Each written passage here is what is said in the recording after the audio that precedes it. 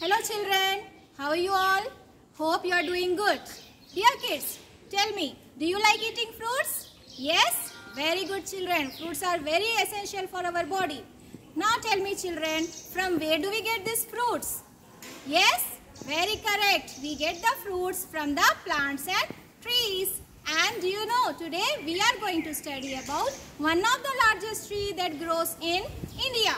Do you have any guessing which tree I am talking about? Exactly right. I am talking about a banyan tree. Have you ever seen a banyan tree children? Don't you think it is the largest tree in, that grow in India? Yes. Uh, children, you know a full grown banyan tree is can be as tall as three storied buildings and it grows only in open wide spaces. That is why we cannot see most of them in cities. We can see many of them in villages because in villages we have wide open spaces. Okay. And children, a banyan tree is looked like a palace. Not like the other trees, it is having so many branches. It does not have only one main branch. It has thick branches and you can see the roots from this tree hanging down like trees. And these roots are called as the hanging roots. They give supports to the uh, huge branches of a banyan tree.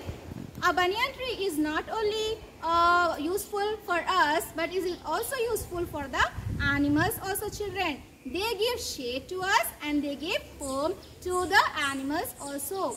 And even the children like you love to swing with the roots of this tree children. Okay, uh, I will show you this with the help of a picture. Wait a second. See children, have a look at here. Don't you find many uh, uh, children are playing here and the animals are there, birds are there? Yes?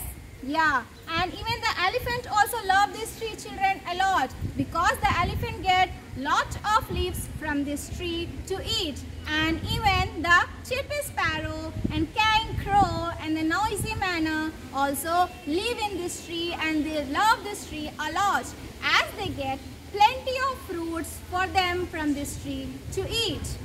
So children, tell me, don't you think the trees are important for us? Don't you think they are our friends? Yes. So, we should not harm them and we should not cut them. We should try to plant as many as trees we can plant children. Okay. Hope you have understood many interesting uh, many interesting things about the banyan tree and I will meet you in my next class. Bye.